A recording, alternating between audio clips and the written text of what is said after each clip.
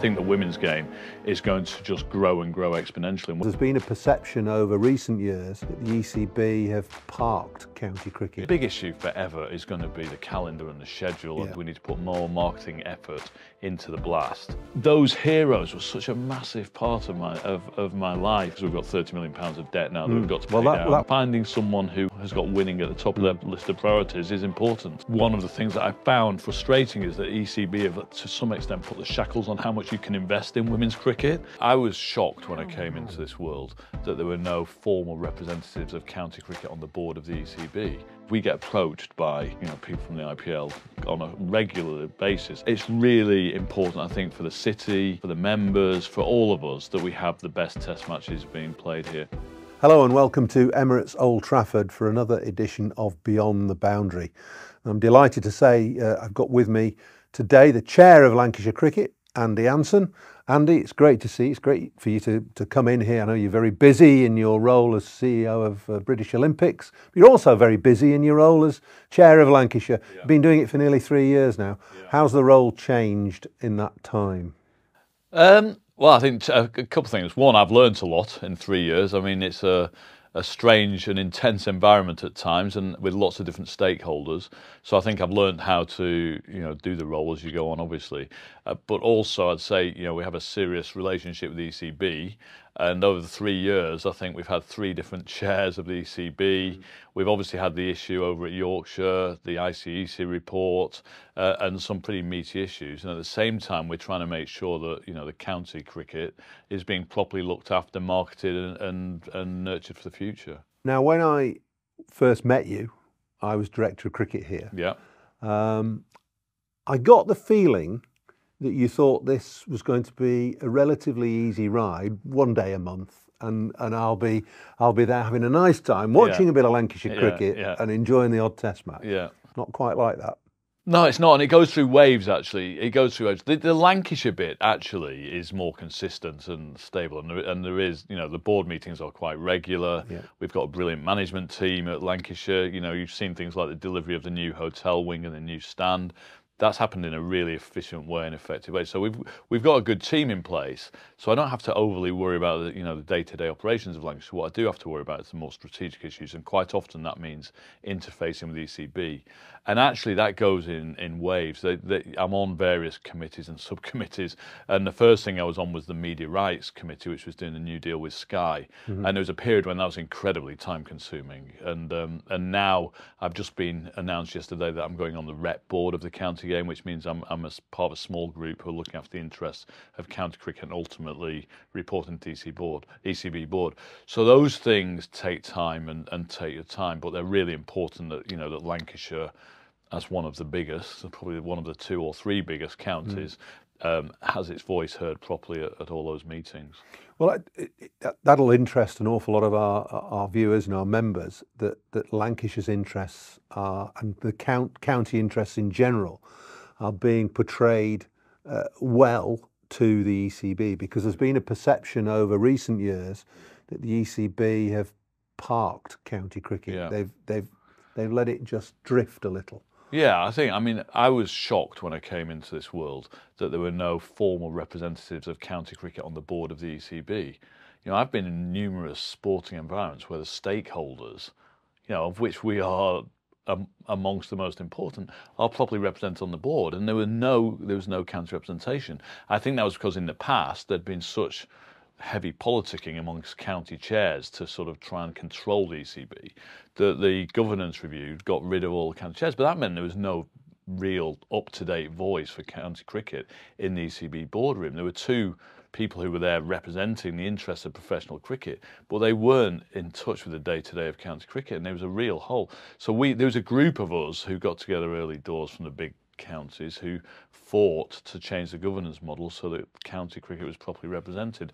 And now I think things are moving. And the good news, I think, for all of us is that with Richard Thompson and Richard Gould as the chair and CEO of, of the ECB, they were long term Surrey people. Um, who were at loggerheads to a degree. Yeah, who fought with ECB and knew the yeah. good and the bad of the ECB. Maybe they were not loggerheads, but they butted butted heads. They did, and then you know, Fred Richard was the only person who voted against the hundred, for mm. example, Richard Thompson. The but with them in there now, they clearly understand the requirements of the counties, and they are definitely going out of their way to make sure our voices not just heard, but actually they're taking really serious and sensible actions to make sure county cricket is properly represented and actually that the game is properly looked after and, and has a chance to grow and thrive. Well, that's immensely sensible, and it's good to hear from a from an avid personal Lancashire view. Yeah. Um, but it, as I say, it's sensible because if you ignore county cricket, you ostensibly are ignoring the future of English cricket yeah, because that is where all the, the, the future talent comes from. Yeah. And I assume that that has been one of your, you've been a champion of local talent. Yeah. But I assume that the county chairs are the same. Yeah, I think everyone sees, you know, especially with the red ball game and the future of Test cricket, that the talent pathway for developing great red ball cricketers is absolutely vital, and the only people who are going to deliver that are the counties. There's no doubt about that. And we've, you know, you when you were director of cricket, you made it a massive part of your focus, and on the back of that, we've got great young talent coming through, you know, in, into the team on a regular basis. I think everyone sees the the importance of that, and I do think that's being protected. We've still got a lot of issues. I mean, the big issue forever is going to be the calendar and the schedule yeah. and how you fit four tournaments into one summer, and and that's just going to be a never-ending problem as far as I can see. Well, yeah, because you can't you can't extend the calendar, can you? That that's quite clear. Um, is there a view? I mean, from a personal point of view, I think T20, T20 Blast is essential to English cricket. Yeah. Essential to the counties because yeah. it brings in yeah. support, it welcomes new audiences. Yeah. But so too does the 100. And there's your conundrum. Yeah, is there room for both of those tournaments? And I, I think there has to be now. I, I don't think the 100 decision is going to get reversed maybe the format will change in the future. Um, you know, I think the format was an unnecessary sort of creation. I think it was there to create a difference between the blast and the hundred. But I think the hundred has its window because the ECB rightly is trying to make sure that you know the England and Wales has a franchise type tournament that competes with the best in the world. And mm. you know the ambition isn't to be bigger than the IPL. I think that that's a race you're not going to win in the, certainly in the near future but it's to be the second best franchise tournament in the world and make the 100 that. But that the, the blast is still vital for the counties, and we've got to build it, market it, get it right. I mean, and there's a continual discussion about, you know, do you have the the, semi, the quarterfinals and the, and the finals day after the hundred or before the hundred? And next year it's clearly going after the hundred, mm. and we'll see how that works. But then you you you know you stop the narrative of the tournament you're going to struggle with your overseas players staying around and being back in place for the for the latter stages. So, but equally, when we had the quarterfinals, you know, as we had in the last couple of years here, um, straight after you've qualified, you get no chance to sell a ticket. So your chance of actually selling out a quarterfinal, which should be one of your biggest days of cricket in the calendar, you've got a window of three or four days to sell all those tickets, and it's impossible. So there, there's pros and cons, but the, the, what is very clear is we need to put more marketing effort into the blast because hmm. mm. it's worked on the hundred. Mm. I hmm. mean, I was. Well, I it will have, do, won't it? it? it if you worked, pile, yeah. if you pile in the marketing yeah, yeah. and advertising into a tournament, then it, it's going to succeed. Yeah. And and I think the counties feel shortchanged yeah, the T the T Twenty Blast. Yeah, they should do, and they should do. I think, but I was definitely a naysayer about the hundred. Right, I'm not going to pretend I was a huge. Supporter. It's interesting that. Uh, sorry, I'm interrupting you, but yeah. but from a broadcasting rights viewpoint, which you are, yeah. Uh, you've got a history yeah. back to your Channel Four days, yeah. and now yeah. you've you've just said that you're you're part and parcel of, the, of that looking forward. Those broadcasting rights are linked very closely to the hundred, yeah, aren't they? But yeah, if I, if I go back and before I was, I'd say that they could have done a much better job of creating value in the broadcasting rights of the Blast, and I don't think that was done. I think from its early inception, the Blast was a great product, and there was genuine interest in it. Mm. And then there was a period when it was allowed to to wane, and the marketing stopped. Actually, the, the you know Sky's interest in it seemed to move away, and it lost its way a bit. So you could have argued that we put all that money into marketing the Blast you could have had a much bigger tournament with more value. And I, I, still think one of the things I've been pushing, along with my, you know, colleagues from Surrey and, and Warwickshire, who tend to be our closest allies, um, is to make sure there's more blast games on television than, mm. than there ever have been, and that we're giving it a real chance to build an audience. So it's definitely on the agenda. There's definitely a plan being built to put more marketing uh, muscle behind the blast to build it back up again. But the, the crowds are good. I mean, on the big mm. games here, you know, what we would like to see is be playing different teams and not always be playing the same teams and make sure we, we get a chance to play some of the bigger teams during the season. That, I think that's important. Is there an appetite for a Premier League in the T20? no. No, is the You're answer. saying no. I say no because. But that's a generalised. Yeah, you say yes, it, there is, but well, no, there isn't. One of the things that you learn very quickly, cricket is a very bizarrely structured game because you've got big counties like ourselves and Surrey, and then you've got the much smaller ones, the Worcesters of the world, and uh, Northampton, Leicestershire of the world, and you're all in the room together with one vote. Mm. It's a bit like FIFA when I did the World Cup, but you've got 208 countries voting on the uh, the World Cup that they're you know that they're never going to have. I mean we've got we do have an issue, but because of that, you know, the only way a Premier League of cricket would be formed is if eight teams or ten teams decide to break away. And I think mm. at the moment there's other things happening that, that make that not very likely. We've just got to make it as good a tournament as it can be, and the Blast is the the lifeblood financially, economically of county cricket. But it's also the thing that brings in the most, you know, the big, the biggest fan numbers. Mm. What I would say, I was going to say when I, you know, I, I was a naysayer about the hundred, but I did come down to a couple of games this summer, and it was a very different crowd, and it was noticeably different in terms of the families and the kids who mm. were here. And it reminded me, I, my first game here was 1971. I was just reflecting on it this week because.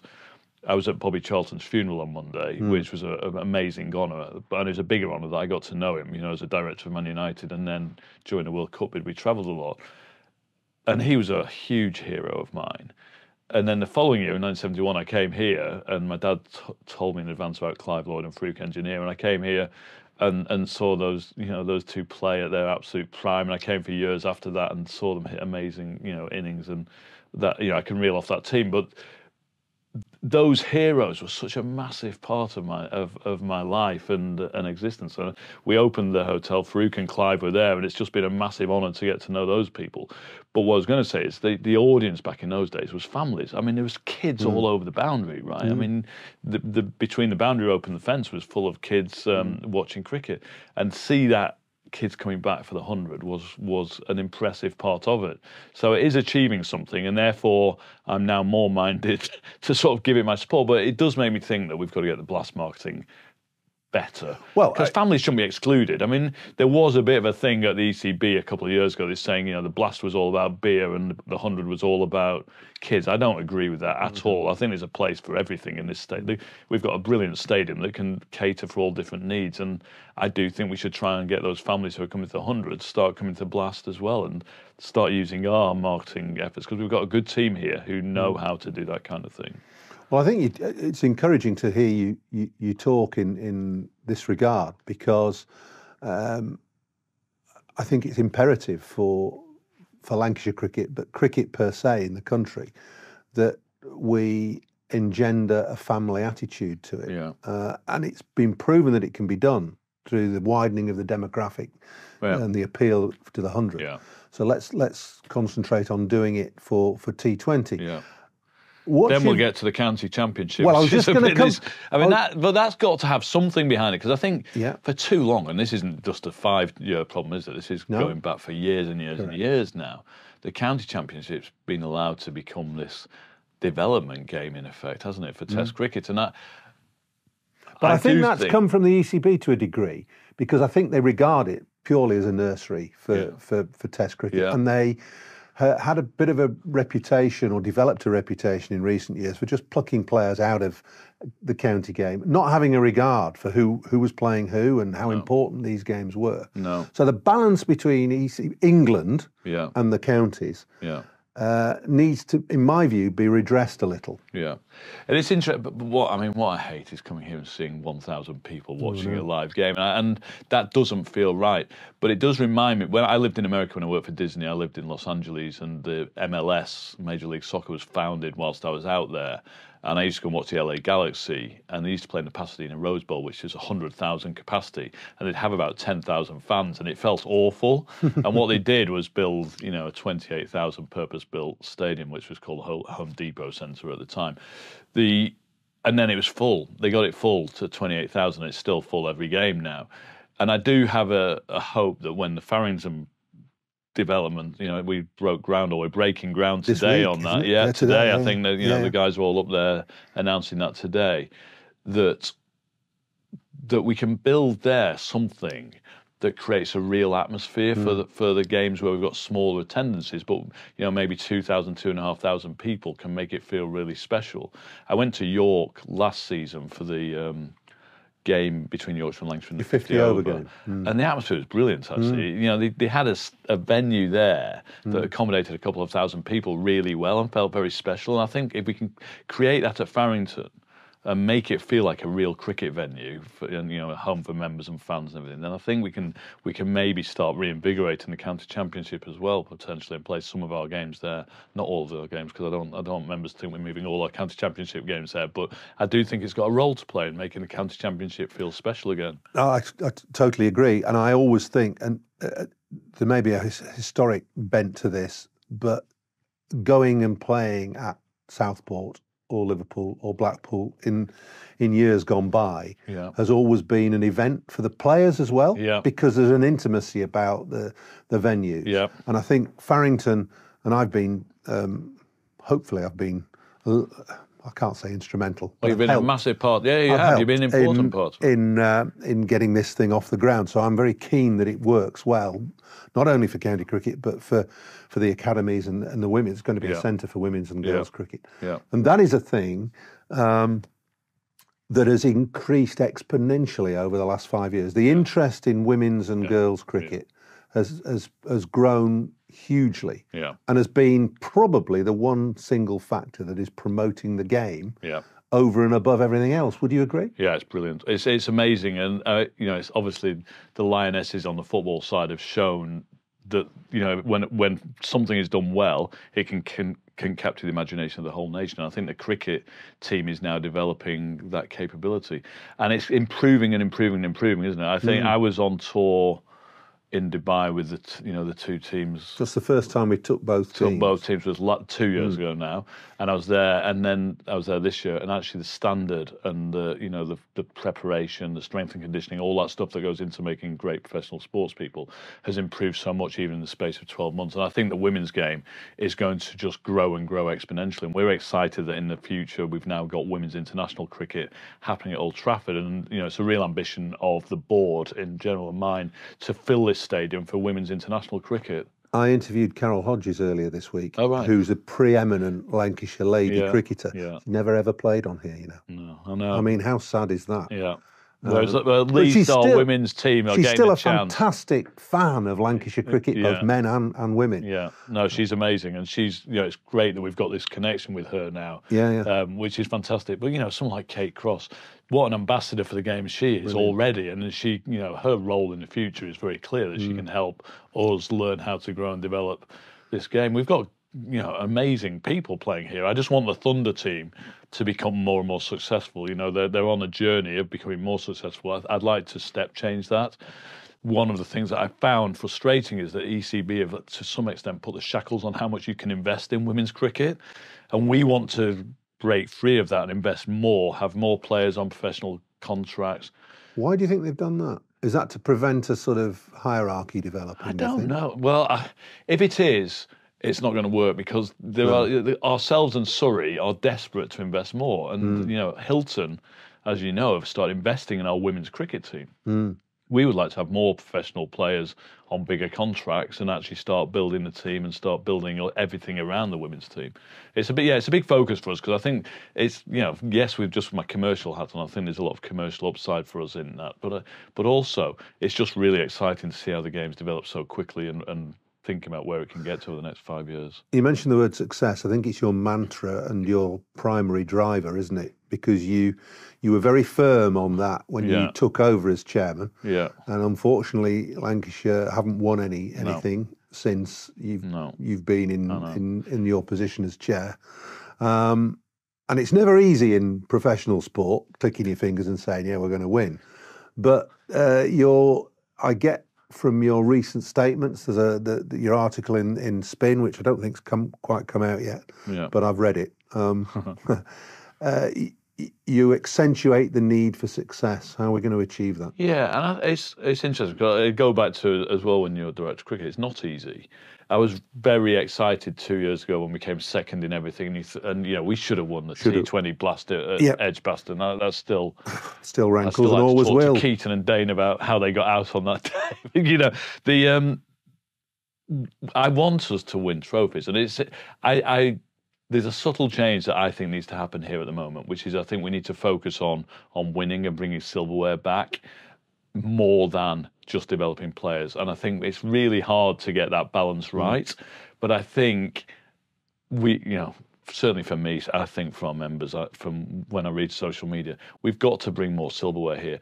We are one of the top three counties in the game, but from a, a winning silver. we are not, and and we've got to switch that around. Mm. You know, my day job as as chief executive of the British Olympic Association, we are very focused on on delivering medals and and the way we look after individual athletes who have got a chance of winning medals at the Olympic Games gives them you the set you set targets in the Olympics, don't you? Well, for... we don't actually. The UK sports set medal oh, targets. I? I, I noticed for the last Olympics there were there were targets set and very clear clearly that was seen as a parameter of, of, of success. How many medals? It is. A, it is a parameter. It's, it's probably the key parameter of success. You've got to win, but you've got to win properly. I mean, and, mm. you know, we have had issues in Olympic sports where mm. we have bullying, of of sexism, of, of you know, even worse. Yeah.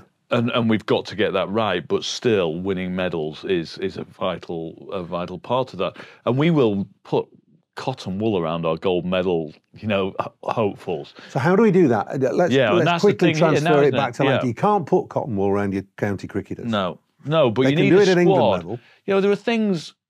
We've got to be we've got to be smart and analyse what works, what doesn't work. Mm. We had too many draws last season. Clearly, mm. mm. we've got an amazing Test match wicket, but we're not playing five day cricket. Mm. So we've got to figure out how we build a team that can win at Emirates Old Trafford.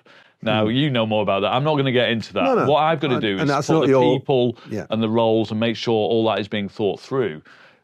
And if it means we've got to have a great spinner who can, who's better than you know anyone else in the county championship, then that should be our focus. I, am not. I'm just using that as an example because I think we've got to find a way to turn those draws, which were winning draws in your club cricket on a Sunday afternoon, we've got to find out a way of turning them into into victories because then we've got a chance to win the county championship. Mm and and then the blast you know we've again it's a, it's getting the right mix of of overseas talent of of let, picking the best players at the best time.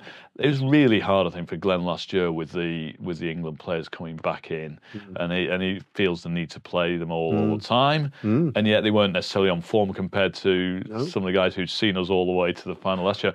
And I do understand that challenge, but that's the kind of ruthless decisions that coaches have to make, and and I just want to see us bring more silverware back. I mean, I remember the Gillette Cup days, and they, they were amazing. And then you had your one day. Well, we had a great time. Yeah, we had a great time in the back end yeah. of the eighties and nineties. So these things go. They're they're cyclical, aren't they? I mean, sport, but I thought this team two years ago, especially in the Blast, was good enough to to start bringing silverware back. Yeah. And then to not do quite as well this year, and actually we were quite a way off in some of the games in the mm. Blast.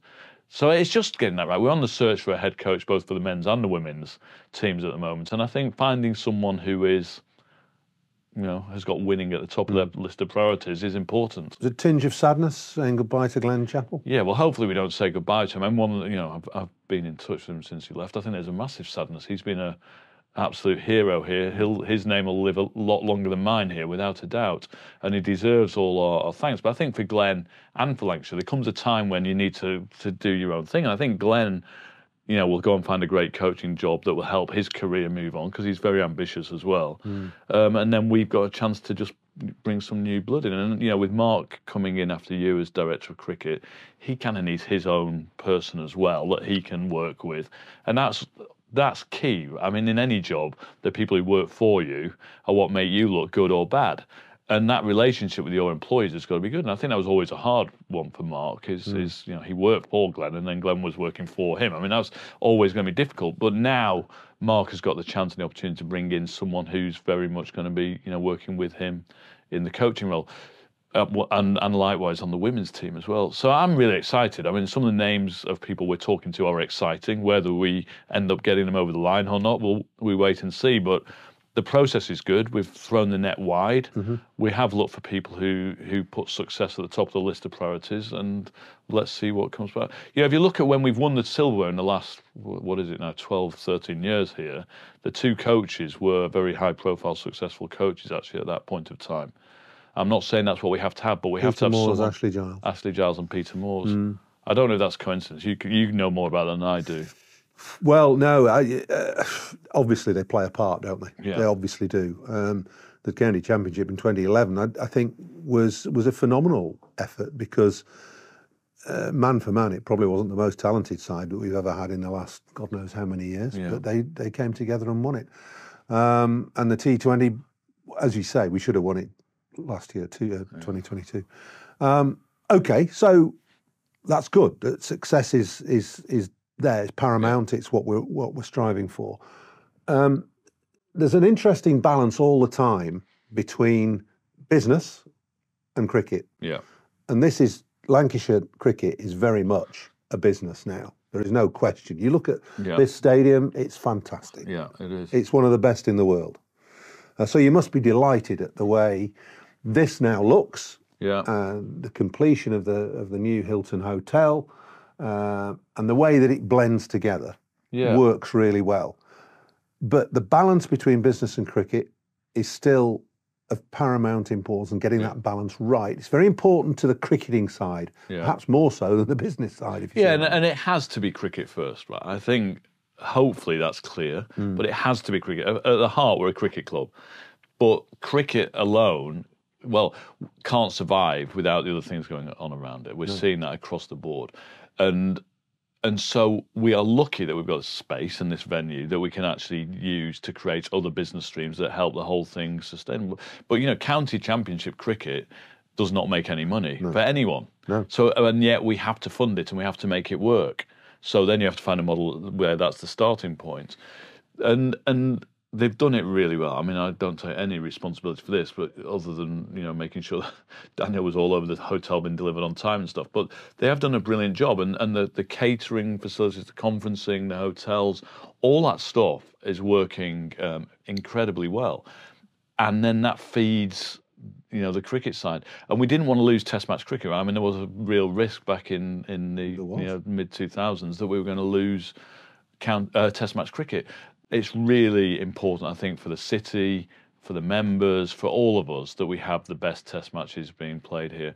I, so, so I do go around and think we've got to keep this stadium as good as it can be. And so things like the concerts, the conferencing, and catering are, are great things. And you know, it happens I also love music, so I'm very hmm. happy with the bands we get here. But it works brilliantly. And you know, the groundsman gets annoyed, obviously, but we we try and make sure everything's looked after because the cricket does have to come first, but everything else has to feed that.